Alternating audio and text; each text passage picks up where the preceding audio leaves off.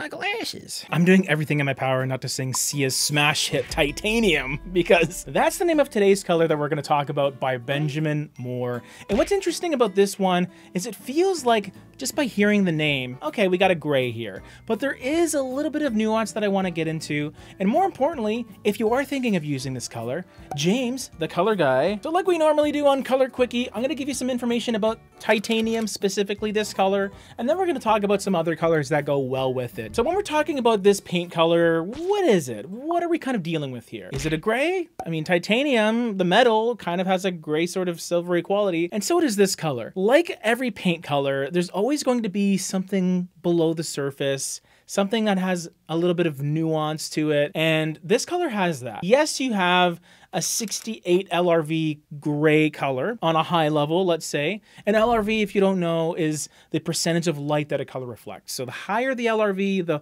lighter or brighter the color will appear. So 68 means it's a fairly light color. It's lighter than a mid-tone for sure, so it's kind of just in that lighter category, which is pretty nice, especially for interior painting purposes. So what kind of light gray is titanium? Well, I would say that it does lean towards the cooler green side of things. Benjamin Moore does brand it as blue green, but I tend to equate it to a cooler green. Like it feels a little more green to me than blue, unless you bring it into your home and you have maybe a north facing room or strong bright LED pot lights that have a cooler color cast, then you'll see a lot more of that blue. On its own, objectively, yeah, just have that sort of cool green undertone that I really like actually. And we're going to dive into that undertone and let it influence the other colors that I've selected in this video. Now, because titanium is part of the off-white category on the darker end of things, I think that gives it a lot of versatility as a paint color. It means it's not going to be so bright that it just looks white, and it's not going to feel too dark for most people because it has that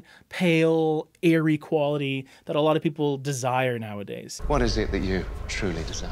This will make it a pretty solid candidate if you wanted a main color or an anchoring color for your palette where you just stick it in the main areas of your home, like your hallways, your foyer, even your living areas. It's a great choice for that because it won't really bother you because it's very passive and desaturated. That being said, like any neutral especially, there's more than meets the eye here, so don't assume that it's going to work because it's pale. Make sure you test it out before you commit to it, and you do that with a tester pod or at least the color chip. Bring it home and just see it in your lighting before you commit to it. Now, if you're already convinced and you need some other colors to go with it, I got you, of course. Two trim colors. The first one I would recommend is White Heron, which is a beautiful, soft, warm but somewhat icy grayed out white. It's an interesting white paint color because it looks like it has a little bit of creaminess, but in person it does feel almost icy and crisp without going too far into the blue direction. So this is going to coordinate perfectly with titanium because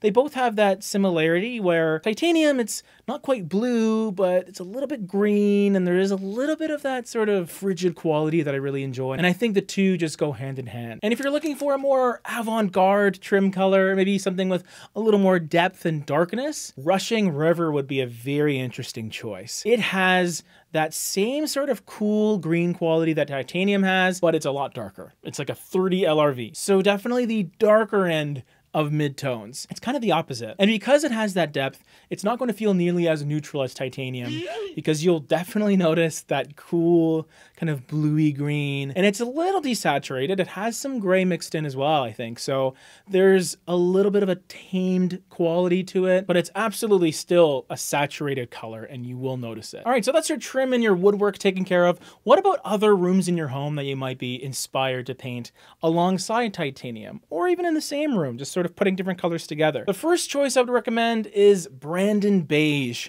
and it sort of has a similar feel to this sort of golden kind of coloration behind me, but it is muted. It's almost like a tan, slightly green leaning taupe, if that makes sense. A mid-tone neutral, on the darker side of things as well. But because we're already starting with titanium, which is an off-white, which is super bright, bringing in some of this depth isn't gonna hurt anybody. I love Brandon Beige because it has this organic feeling to it. It's a little more complex than you might think. It's not just a deep beige or anything like that. That green touch is what sets it apart, and it's also what ties it in to not only titanium, but also the other trim colors, which have that slight bit of green mixed in as well. So this is an awesome choice if you have a room that maybe you got a good amount of lighting, or you purposefully are looking for something that has some depth, but you don't want it to pull too much focus, this is a perfect choice. Our second color is a little bit similar to this in a way. Not quite, but same sort of hue. It is a purple based color. It's called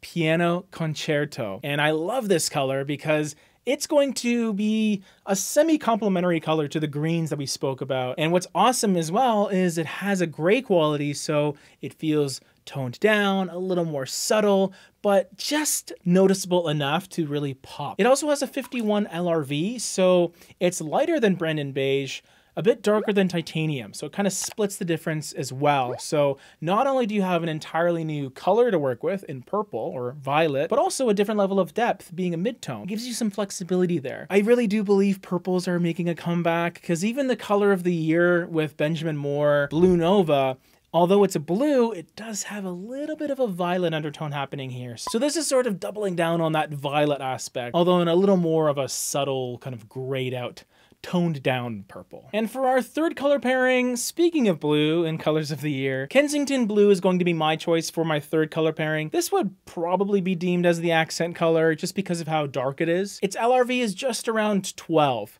So that's the darkest color we've talked about in this whole video. It's a classic navy blue. I didn't want to lean into one of the purpley blues that are becoming very popular nowadays, mainly because we already had the purple and piano concerto. So I didn't want to go too purpley in this whole palette. But Kensington blue is just a classic navy blue that is tried and true. And you can use it in a variety of different ways, whether it's in an accent room, maybe you're going for a nice nautical theme or something, or you're looking for a kitchen cabinet color that is pretty timeless and still very, very nice in navy blue. This is a great choice. So here's the palette all together, and as you can see, there's a mixture of green leaning neutrals, and then you have some of the cooler colors at the back end in purple and blue to sort of round things out. Altogether, a little more of a cooler leaning palette, but that's fun too. But not everyone likes warm, cozy vibes like me, right? So that's for you guys. And if you want more colorful content, we got a video right over here for you.